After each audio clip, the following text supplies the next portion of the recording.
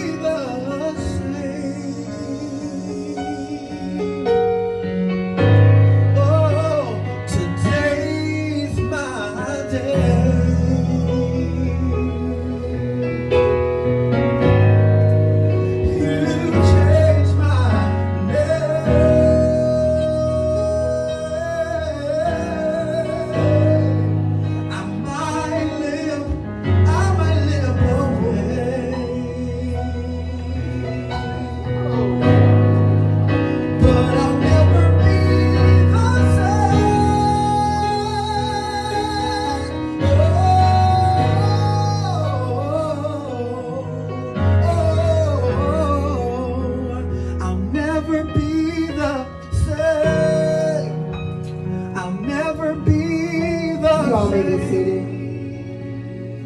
in the presence of the Lord. Amen.